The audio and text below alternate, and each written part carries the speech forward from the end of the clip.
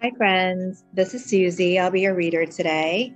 Today is Friday, September 10th. Hope you're having a beautiful day. Oil for the Journey follows Bridges for Peace's Ignite the Truth Bible reading plan, and today we'll be reading Ezekiel, Ezekiel 38 through 40. So feel free to join along and um, let's open up in prayer. Father, we thank you for your word. We thank you, God, that your ways are higher than ours and you want to reveal new and fresh things to us um, in your truth and your word today. And um, we receive it in Jesus' name. Amen. All right. So, Ezekiel 38.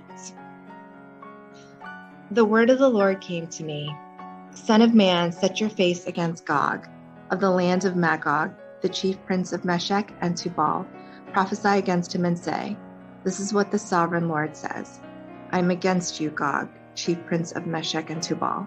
I will turn you around, put hooks in your jaws, and bring you out with your whole army.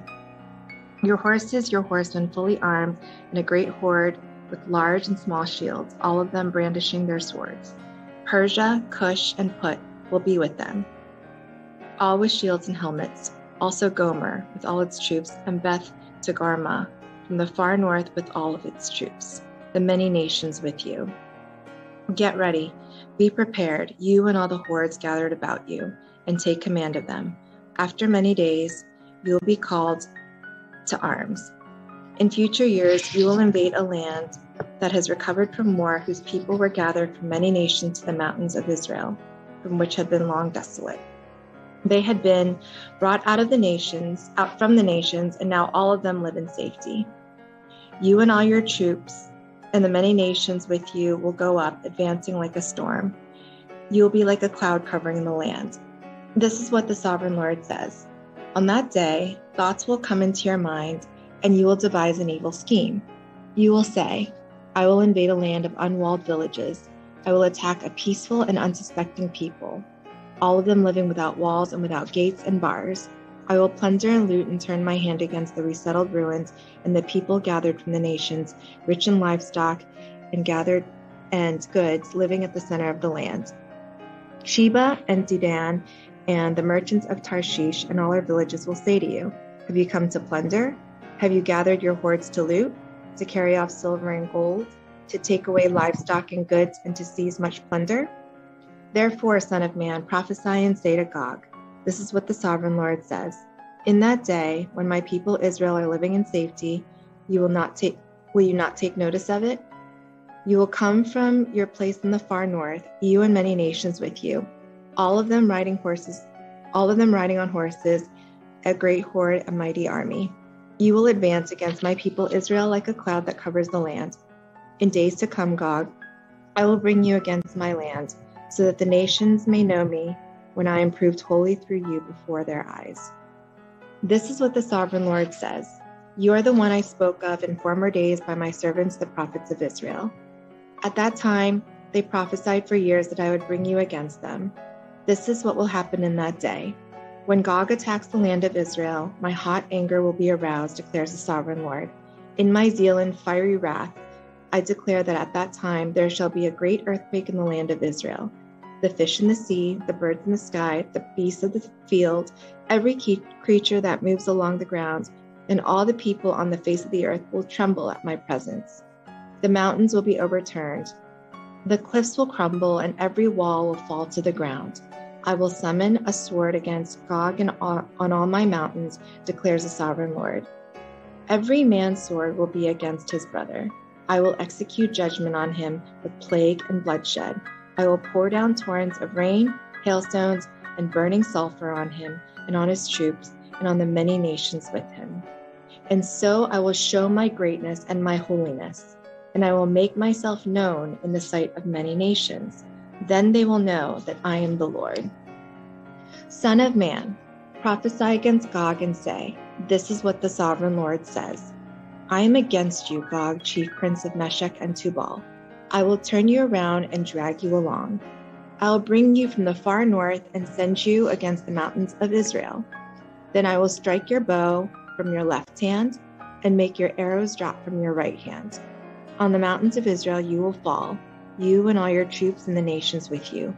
I will give you as food to all kinds of carrion birds and to the wild animals. You will fall in the open field, for I have spoken, declares the sovereign Lord. I will send fire on Magog and on those who live in safety in the coastlands, and they will know that I am the Lord. I will make known my holy name among my people Israel. I will no longer let my holy name be profaned, and the nations will know that I am the Lord. I, the Lord, am the Holy One in Israel. It is coming. It will surely take place, declares the sovereign Lord. This is the day I have spoken of.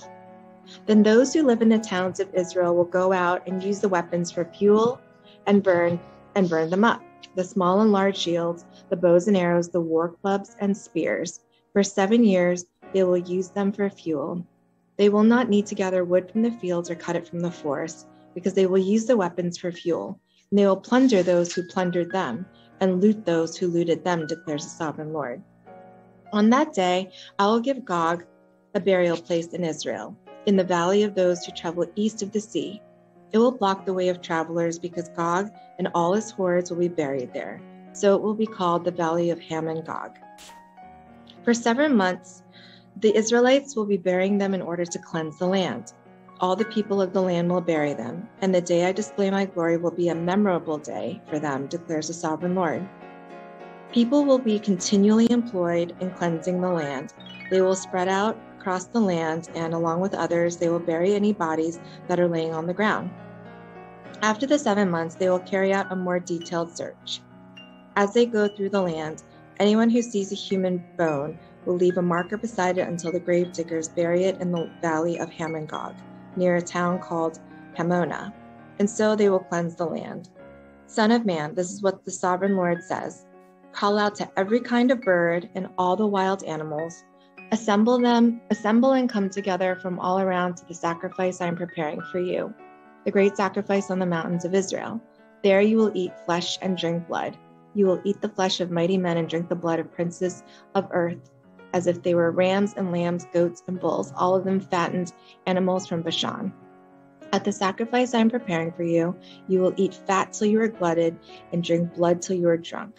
At my table, you will eat your fill of horses and riders, mighty men and soldiers of every kind, declares the sovereign Lord. I will display my glory among the nations, and all the nations will see the punishment I inflict and the hands I lay on them. From that day forward, the people of Israel will know that I am the Lord their God and the nations will know that the people of Israel went into exile for their sin because they were unfaithful to me.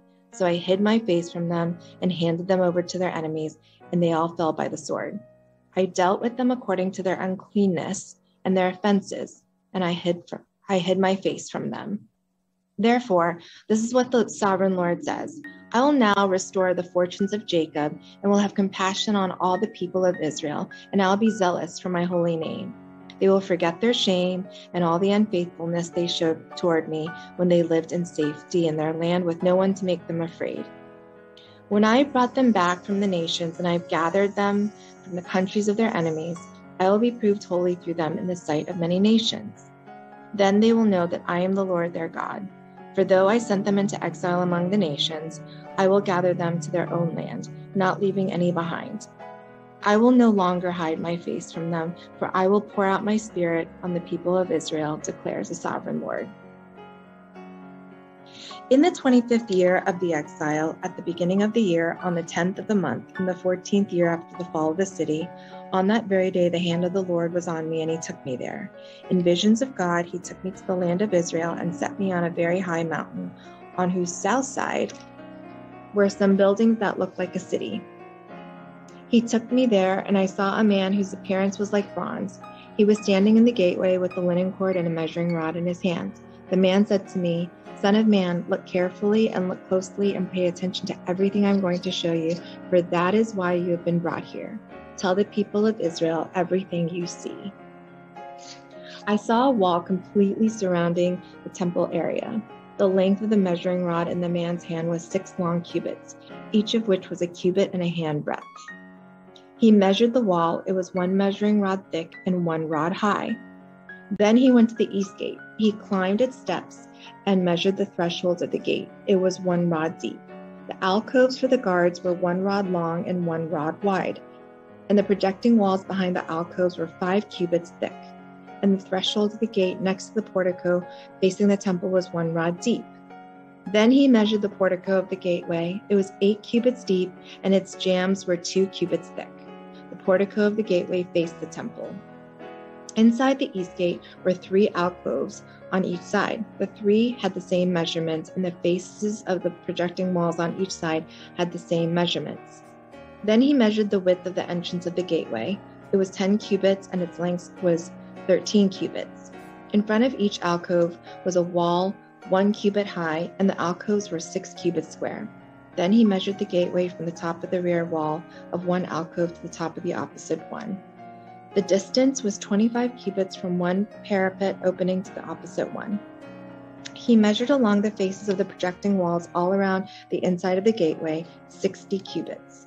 The measurement was up to the portico facing the courtyard. The distance from the entrance of the gateway to the far end of its portico was 50 cubits. The alcoves and the projecting walls inside the gateway were surrounded by narrow parapet openings all around, as was the portico. The openings all around faced inward. The faces of the projecting walls were decorated with palm trees. Then he brought me into the outer court. There I saw some rooms and a pavement that had been constructed all around the court. There were 30 rooms along the pavement. It abutted the sides of the gateway and was as wide as they were long. This was the lower pavement. Then he measured the distance from the inside of the lower gateway to the outside of the inner court it was 100 cubits on the east side as well as on the north. Then he measured the length and width of the north gate leading into the outer court. Its alcoves, three on each side, its projecting walls, and its portico had the same measurements as those of the first gateway. It was 50 cubits long and 25 cubits wide. Its openings, its portico, and its palm tree decorations had the same measurements as those of the gate facing east. Seven steps led up to it, with its portico opposite them. There was a gate to the inner court facing the north gate, just as there was on the east. He measured from one gate to the opposite one, it was a hundred cubits. Then he led me to the south side, and I saw the south gate, south gate. He measured its jambs and its portico, and they had the same measurements as the others.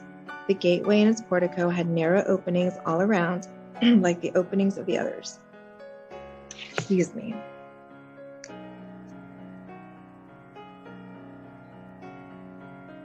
Then he led me to the south side, and I saw the south gate. He measured its jambs and its portico, and they had the same measurements as the others. The gateway and its portico had narrow openings all around like the openings of the others. It was 50 cubits long and 25 cubits wide. Seven steps led up to it, with its portico opposite them. It had palm tree decorations on the faces of the projecting walls on each side. The inner court also had a gate facing south and he measured from this gate to the outer gate on the south side. It was a hundred cubits. Then he brought me into the inner court through the south gate, and he measured the south gate. It had the same measurements as the others.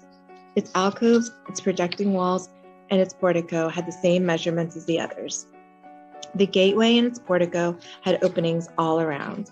those 50 cubits long and 25 cubits wide. The porticos, the gateways, around the inner court were 25 cubits wide and 5 cubits deep. Its portico faced the outer court. Palm trees decorated its jambs, and eight steps led up to it. Then he brought me to the inner court on the east side, and he measured the gateway. It had the same measurements as the others. Its alcoves, its projecting walls, and its porticos had the same measurements as the others. The gateway and its portico had openings all around. It was 50 cubits long and 25 cubits wide. Its portico faced the outer court. Palm trees decorated the jambs on either side, and eight steps led up to it. Then he brought me to the north gate and measured it. It had the same measurements as the others, as did its alcoves, its projecting walls, and its portico, and it had openings all around. It was 50 cubits long and 25 cubits wide. Its portico faced the outer court. Palm trees decorated the jambs on either side, and eight steps led up to it. A room with a doorway was by the portico and each of the inner gateways, where the burnt offerings were washed. In the portico of the gateway were two tables on each side, on which the burnt offerings, sin offerings, and guilt offerings were slaughtered. By the outside wall of the portico of the gateway, near the steps at the entrance of the north gateway, were two tables. and on the other side of the steps were two tables. So there were four tables on one side of the gateway and four on the other, eight tables in all, on which the sacrifices were slaughtered. There were also four tables of dressed stone for the burnt offerings, each a cubit and a half long, a cubit and a half wide, and a cubit high. On them were placed the utensils for slaughtering the burnt offerings and the other sacrifices, and double pronged hooks, each a handbreadth long, were attached to the wall all around. The tables were for the flesh of the offerings. Outside the manor gate, outside the inner gate, within the inner court were two rooms, one at the side of the north gate and facing south, and another at the side of the south gate and facing north. He said to me, The room facing south is for the priests who guard the temple, and the room facing north is for the priests who guard the altar. These are the sons of Zadok, Zadok, who are the only Levites who may draw near to the Lord to minister before him. Then he measured the court. It was square, a hundred cubits long and a hundred cubits wide, and the altar was in front of the temple. Well, that is Ezekiel 38 through 40. I hope that reading was a blessing to you all, and I hope you have a wonderful weekend. God bless you and take care. Bye.